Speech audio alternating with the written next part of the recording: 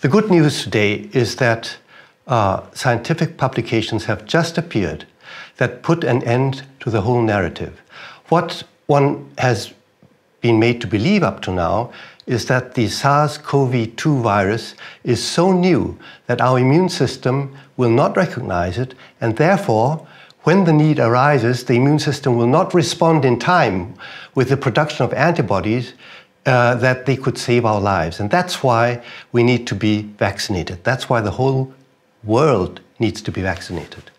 Now, scientific publications that have appeared in the last weeks, as I said, put an end to this narrative because it turns out that the corona SARS CoV 2 virus and its descendants are not so different from the old normal coronaviruses that it would not be recognized by the immune system.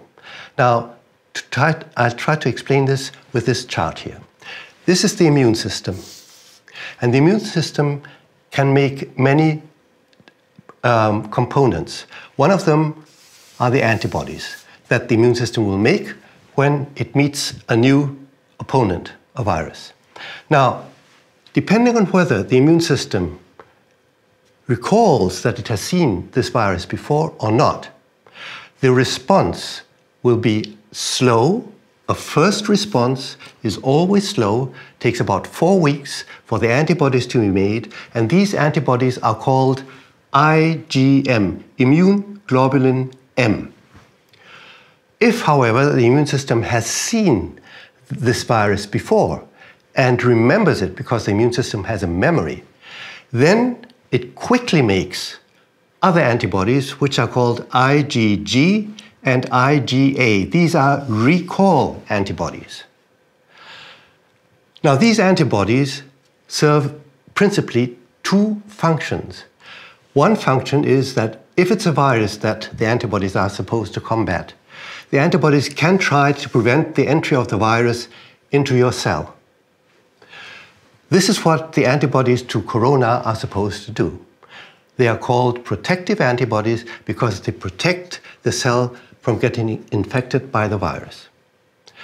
If, however, the cell does get infected, then lymphocytes are there behind the scenes that will come out and recognize that the cell is infected, and these killer lymphocytes have their duty to kill the cell.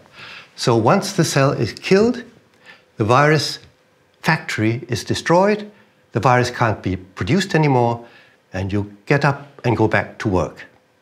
The other function of antibodies, major function, is that if, it is, if the antibodies are directed against a bacterium or a fungal, then these antibodies will bind to the bacteria and that will cause another arm of the immune system to be activated. This is so-called complement because it complements the, act, uh, the, the action of the antibodies and leukocytes. Leukocytes are the cells that eat. These are cells that are in your blood and they're circulating all the time and they're waiting for these bacteria to come into your blood, be coated with the antibodies, and then they will come and eat them. And thus are you protected by your antibodies against bacteria. So we have actually two major arms of the immune system. One are the lymphocytes that are directed against viruses and virus infected cells, and the others are leukocytes that are directed against bacteria. It's like the Navy and the uh, Air Force. Air Force, Navy. And both are really deadly. They take care of all the viruses that you are uh, confronted with and all the bacteria normally. So, the question is now is our immune system really blind to the new, so called new SARS CoV 2 virus question. Now, this can be answered very simply. And that, for that, what one has to do is one has to inject this virus or the virus gene into the body and see how long the immune system takes to make the antibodies against this gene. And this was done by three independent American research groups in the last weeks and published. So everyone can go and have a look at these papers, and everyone should look at the papers because two questions arise. First, was the antibody response fast or slow? This would be fast, and this would be slow 30 days, 10 days, or five days even. And if it were fast, did the antibodies carry the correct label, IgG, IgA, or the wrong label? So, what do you think? I'm going to ask you. The Americans measured in the blood the appearance of the antibodies every day. The people who are telling you that you should get vaccinated are going to say, of course, they were IgM antibodies because this was blind to them. But the fact is the opposite. All groups found out that everyone who had been vaccinated responded with IgG and IgA antibodies within days after the vaccination, which is absolute proof that it is a recall response to something that the immune system has recognized. You may ask me, how can this be? The answer is very simple. Look, this is the hand, the grasping hand of the virus. This is the spike. And the spike is there to grasp the handle of the door to your cell, to get in. The antibody comes and forces itself into the jaw, like the crocodile. The mouth is open, it stops the crocodile from closing its mouth. Of course, this is not co completely correct, but it will do as a picture for you, all right? Now, this key that enters into the mouth, of course, is not a perfect fit. So you can change a finger or two and it will still go in. And this is the difference between coronaviruses and influenza virus. Influenza are flu viruses, the real flu, all right, which has really caused pandemics because flu viruses can completely change the whole hand so that the hand looks like this suddenly. Okay? And then your antibodies don't fit into that. But this is something that the coronaviruses can never do. They can't. It's, and so they can only change the shape of the fingers. And that's not enough to fool the immune system. It's that simple. And this applies to all the variants. So forget it if someone tells you that you are not immune against the the variants. The fact is, of course, that the immune system doesn't splurge. It keeps its antibodies in a locker, just like you have money on a bank. You don't go around throwing your money out of your pockets. You get the money out of the bank when you need it. And that's what happens to the immune system. And wonderfully enough, another publication coming from Denmark, another one, showed that True infections with this SARS-CoV-2 do exactly the same, meaning that everyone who has had an infection, even if he's asymptomatic, you know, no symptoms, the, the virus just gets into your throat, multiplies a bit, and gets thrown out again.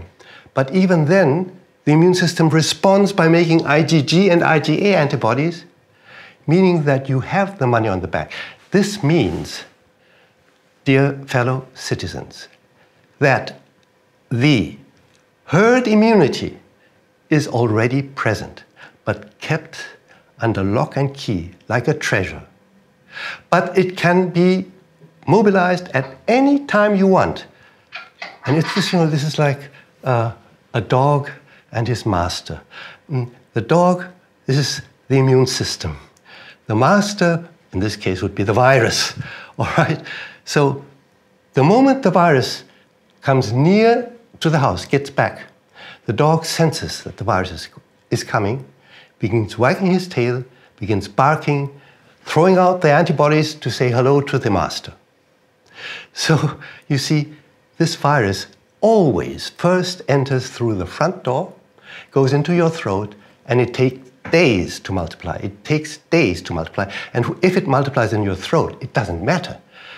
It only kills you if it gets to your lungs. But now we know that this is enough time for you and me or anyone, because the Danes showed that over 99% of all people running around have this treasure in their trove. They have the treasure. And they could mobilize the IgG and IgA antibodies even when the virus was only in the throat. Now, isn't this a piece of wonderful news? I think it causes us to realize, it causes us to realize that we can cast the dread of this pandemic away and return to our wonderful world. Return to our friends, our beloved ones. Join hands with them and rejoice. The pandemic, as it were, is not existent as a mortally dangerous new disease. Now, the second piece of news I have for you is that this will not only cause vaccination to be unnecessary, but also says if the vaccination carries any danger whatsoever, it must be stopped. Because there is no benefit, and if it only contains danger, then it is the duty of the doctors and the authorities not to undertake vaccination. Now, let me tell you something very, very alarming. So alarming that this piece of news is just as important as the good piece of news. And this comes also from the publications that have just appeared. So we'll go back to this chart here. And I told you they vaccinated they found that the IgG and IgA antibodies came immediately. Then they waited for another two weeks or three weeks, and then they gave the people a second shot. What did they see? They saw that the IgG and IgA levels immediately continued to rise, which is what a booster is supposed to do. However, now listen very carefully. Look at this. This is a vessel wall. This is your blood.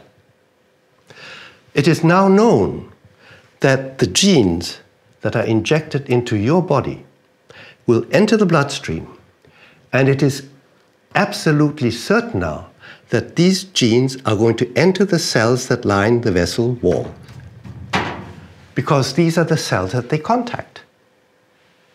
Now, what happens when the cells that line the vessel walls begin to produce these spikes? The spikes will then be produced by the cell and protrude from the cell surface into the bloodstream. All right?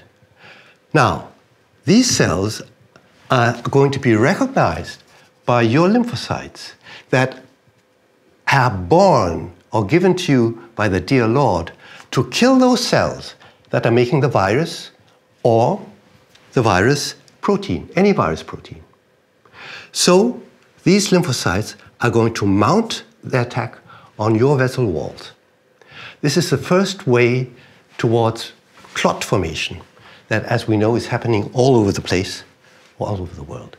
Now, at the beginning, after the first vaccination, this danger is bad and is already terrible in itself if your killer lymphocytes start trying to kill you. But at that time, during the first seven to 10 days, there are still no antibodies. There are not yet any antibodies. However, after three or four weeks, there are masses of antibodies all over the place in your blood. And if you dare to repeat this performance and start to put those spikes out into your blood, God help you.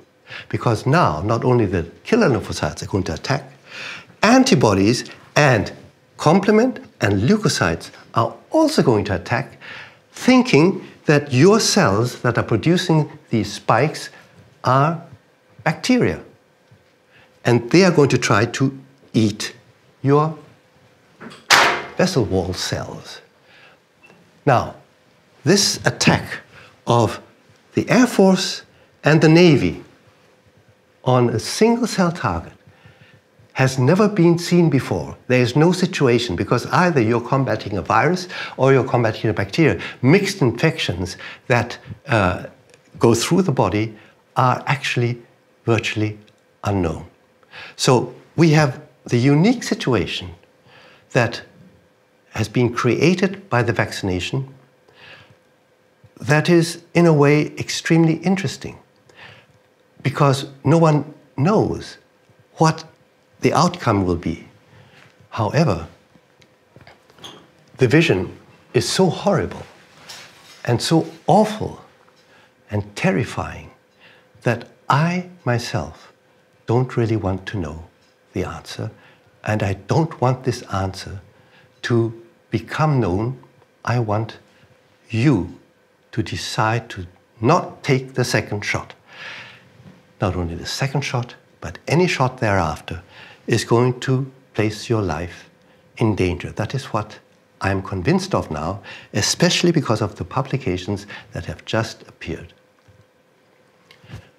So I think that was the most important thing I have to say today, and I hope people will sit down, look at these papers, talk about them, and I hope that my colleagues, physicians and scientists, will do the same and get together to see whether this may have a grain of truth.